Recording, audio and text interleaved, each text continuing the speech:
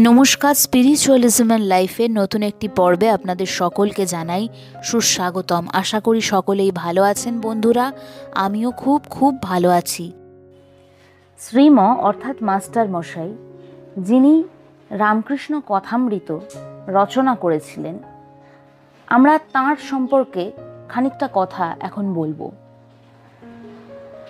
তিনি কথামৃততে শুধু যে ঠাকুরের কথা উল্লেখ করেছেন তা কিন্তু নয় তার সাথে সাথে সেই কথাগুলোর পটভূমি যে অবস্থায় ঠাকুর কথা বলেছেন, অল্প কথায় তার একটা চিত্র প্রত্যেকটা পরিচ্ছেদের মধ্যে দিয়ে তিনি দিয়েছেন। এর মধ্যে একটা রহস্য আছে যে মাস্টার মশাই তার ডায়েরিতে ঠাকুরের কথাগুলো অত্যন্ত সংক্ষেপে লিখে রাখতেন। সেগুলি এত সংক্ষেপে লিখতেন যে তিনি ছাড়া আর কেউ সেই অর্থ বুঝতে পারতেন না। খুব সংক্ষিপ্তভাবে খালি কয়েকটা নোটের মতো শব্দ উল্লেখ করা থাকতো। কথামৃত লেখার আগে সেই শব্দগুলোকে নিয়ে তিনি এক এক দিনের চিত্র ধ্যান করতেন। তিনি বলতেন যে, ধ্যান করতে করতে সেই দিনের সমগ্র চিত্রটি তার চোখের সামনে স্পষ্ট ভেসে উঠত। যখন এইভাবে সমস্ত দিনের ঘটনাটি তার মানস পটে পরিস্ফুট হয়ে উঠত, তখন তিনি লিখতে আরম্ভ করতেন। সেই জন্য দেখা যায় যে শ্রীরামকৃষ্ণ কথামৃতর প্রত্যেকটা কথার ভেতরে একটা বৈশিষ্ট্য আছে। কেবল যে ঠাকুরের কতকগুলো উপদেশ এক জায়গায় সমাবিষ্ট করে সকলকে পরিবেশন করা হচ্ছে তা নয়। এক এক দিনের চিত্র মাস্টারমশাই সকলের সামনে উপস্থিত করছেন। ঠাকুর বসে আছেন, কোন দিকে বসে আছেন, সঙ্গে ঘরে কে কে আছেন, সব উল্লিখিত রয়েছে। তিনি তো কালীবাড়ির বর্ণনাও এমন পুঙ্খানুপুঙ্খ রূপে দিয়েছেন যে মানুষের পক্ষে তা থেকে একটা ধারণা তৈরি করা সম্ভব হবে। আসলে তিনি চেয়েছেন যে কথামৃতের পাঠকরা যেন গোড়া থেকে সেই চিত্রের সাথে মিলিয়ে ঠাকুরের ধ্যান করে কথাগুলি বোঝবার চেষ্টা করেন। এটা হচ্ছে কথামৃতর একটা অন্যতম অপূর্ব বৈশিষ্ট্য। এবং আরও একটি গুরুত্বপূর্ণ বৈশিষ্ট্য কথামৃতর এই প্রসঙ্গে একটা লাইন উল্লেখ করা চলে। সেটা হচ্ছে, আদাবন্তে চ মধ্যে চ হরি সর্বত্র গিয়াতে। আদি, মধ্য, অন্ত, সব জায়গায় ভগবানের কথা রয়েছে। যে কোনো গ্রন্থ সাধারণত শুরু থেকেই পড়া স্বাভাবিক, সেটাই উচিত। তবু কথামৃত এমন একটি গ্রন্থ, সেটা যে কোনো জায়গা থেকেই আরম্ভ করা যায়। যে কোনো জায়গা থেকেই মানুষ পড়তে শুরু করুক না কেন, সে বিব্রত হবে না। কথামৃত এমনই একটি গ্রন্থ। এটাই কথামৃতর আরও একটা গুরুত্বপূর্ণ বৈশিষ্ট্য।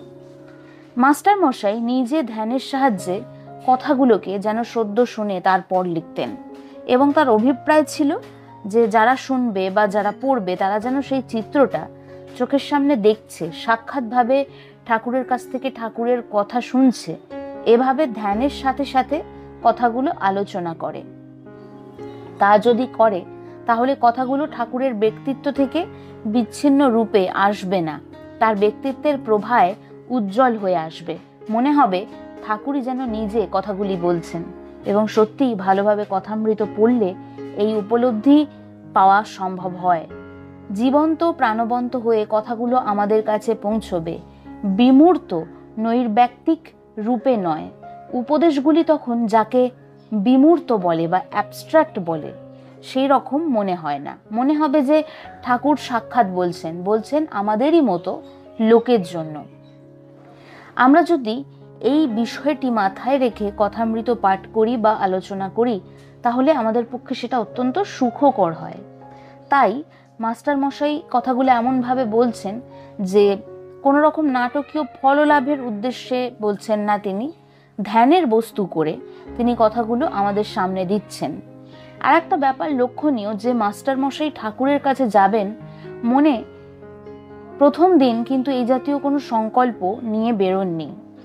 বরানগরে গেছেন, সেখানে তখন অনেক বাগান ছিল। এই বাগানে সেই বাগানে বেড়াচ্ছেন।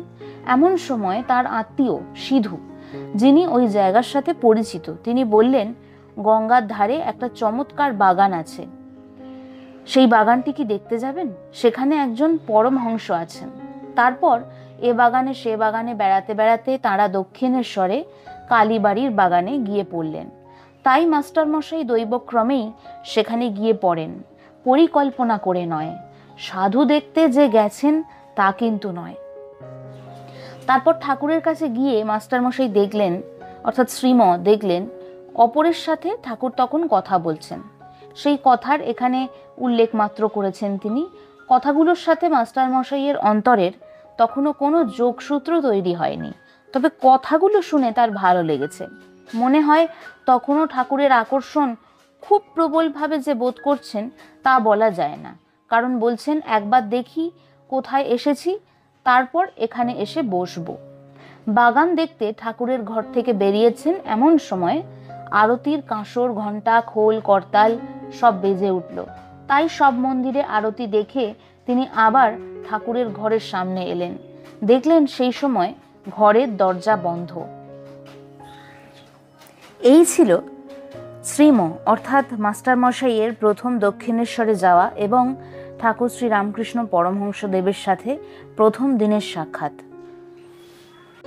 এই ছিল আজকের আলোচনা। কেমন লাগল আজকের সমগ্র আলোচনাটি অবশ্যই মন্তব্য করে আমাদের জানান। আপনাদের সাহায্য বা আপনাদের সাপোর্ট আমাদের একান্তভাবে প্রয়োজনীয় আপনাদের পাশে থাকাই আমাদেরকে আগামী দিনে আরও এগিয়ে যেতে সাহায্য করবে। তাই অবশ্যই আমাদেরকে সাপোর্ট করতে থাকুন। ভিডিওটি পরিবার, পরিজন বন্ধু বান্ধব সকলের সাথে ভাগ করে নিন। ভিডিওটি লাইক করুন, কমেন্ট করুন এবং শেয়ার করুন। দেখা হচ্ছে আবারও আগামী দিনে কোনো নতুন আধ্যাত্মিক তথ্য সমৃদ্ধ ভিডিও নিয়ে আমাদের চ্যানেল।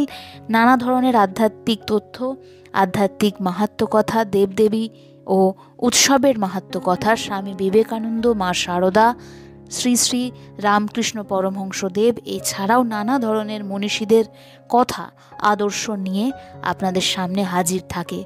দেখা হচ্ছে আবারও আগামী পর্বে। ততক্ষণ ভালো থাকুন, সুস্থ থাকুন।